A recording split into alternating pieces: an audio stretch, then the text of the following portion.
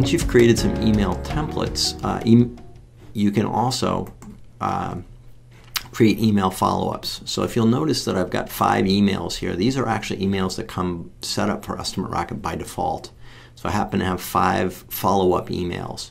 The way the follow-up emails get used generally is in follow-up campaigns. So these are the Estimate Rocket has the capability of doing automatic email follow-ups. One of the most powerful features of Estimate Rocket. So that at each step of the project, you can have an automatic communication that's going to go out to your customer or a manual communication that's going to go out to your customer and you won't have to lift a finger to do it. So pending acceptance is when we're, we've sent the proposal to the customer, we're waiting for them to accept it. This is a campaign, probably the most important uh, marketing or follow-up campaign that there is to basically get your customer to commit and make a decision and go with your company. So in this case, you can see that the email template is set up uh, for pending acceptance. There are two options. There's a manual and an automatic option. This simply means that when the project advances to the stage of waiting for the customer to accept, if it's automatic, this campaign will automatically start. If it's manual, there'll be a button that you need to click in order to start the campaign. So that just controls whether a campaign happens just by virtue of getting to that place in the project or whether you actually just need to click a button to make it happen. And using the maintenance here, you can add additional campaign emails if you want to. You can remove campaign emails, and you can control when those emails are going to get sent. I think the defaults for Estimate Rocket are we send an email, a second email after two days, seven days, 14, 28, and 320 days. We'll try to catch them next year if we don't get them this year.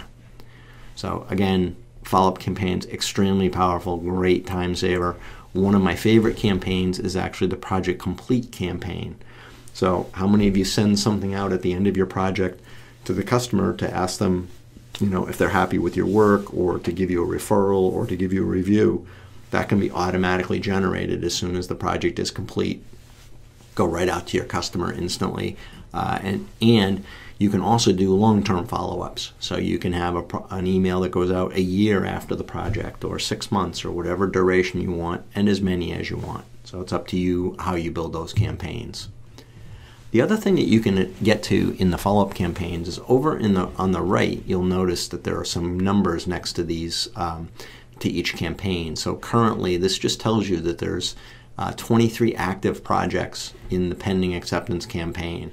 And this link will actually bring you to them. So if for some reason you want to track down who's got an active campaign uh, in each of the campaigns, you can use this link to actually go look at what projects uh, have that campaign set up. So here and then I can drill in, for example, I can drill into this project and maybe he's decided he's not going to do it and I just want to, this one looks like it's only got one campaign email left. That's probably my 320 day one. But I can come in here and I can just use the stop campaign button and that's going to stop that campaign so no more emails will go out to that client on that campaign. So that start and stop campaign button again, powerful tool to let you uh, make the adjustments that you need, uh, and then you can come back and you know go down the list if you need to make any other adjustments on those.